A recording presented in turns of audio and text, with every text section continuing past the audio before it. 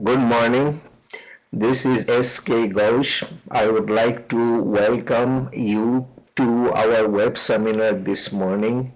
Uh, the topic is seismic design using structural dynamics. The material presented today is all contained in this publication from us that has been around from the UBC days. Actually, we, we update it periodically as our codes change. The starting point, I think, is that we we have in ASCE 7, which is adopted by the IBC, which is the basis now of, of almost all legal codes. We have, for seismic design purposes, equivalent lateral force procedure and dynamic analysis procedures the equivalent lateral force procedure is allowed to be used under certain restrictions. Dynamic analysis is always permitted to be used, but is sometimes required to be used. That is the key thing. Sometimes it is required to be used, meaning that in those situations you are not allowed to use the equivalent lateral force procedure.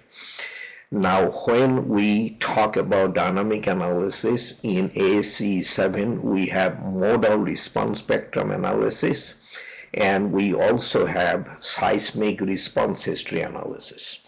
Now, uh, response history analysis means we subject the base of our structure or more precisely the base of a mathematical model of our structure to recorded or artificial earthquake ground motions and we uh, compute the response of the structure uh, to that uh, history of, of ground motion input.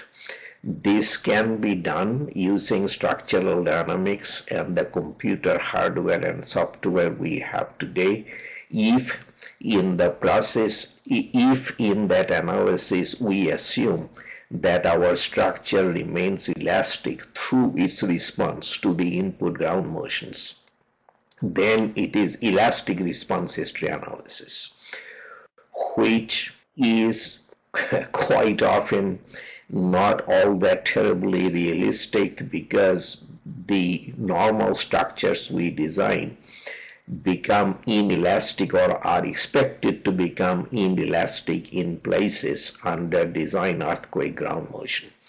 If we want to recognize that fact that certain uh, regions of certain structural members are going to become inelastic, are going to undergo inelastic displacements in the design earthquake ground motion, then then we are going to do inelastic response history analysis, which is the most uh, that, that's about as far as we can go today with our analysis procedures.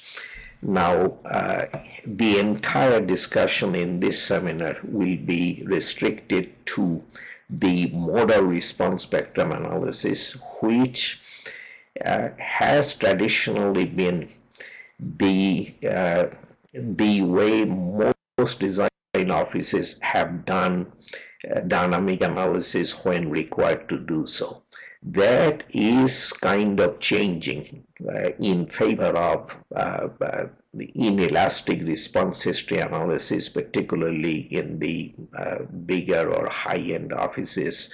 But uh, I still believe that modal response spectrum analysis is, is significantly more popular than response history analysis.